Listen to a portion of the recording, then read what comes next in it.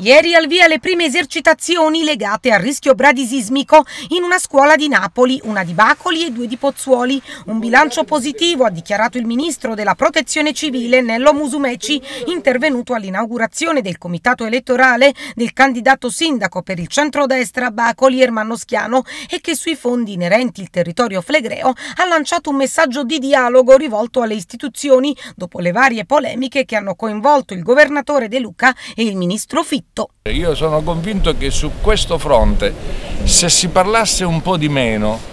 e, e se, se, si gridasse un po' di meno e se si dialogasse un poco di più forse riusciremmo tutti a trarne vantaggio. Però ecco, cominciamo intanto con la pianificazione e oggi sono contento di essere stato invitato a parlare ai nostri amministratori e a chiunque vorrà accostarsi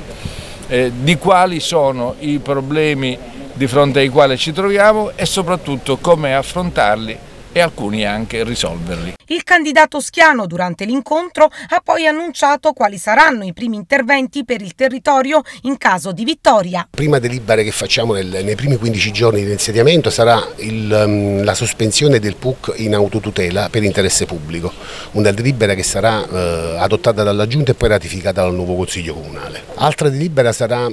quella sull'estate sicura, quindi un tavolo, di, un tavolo di coordinamento con le forze dell'ordine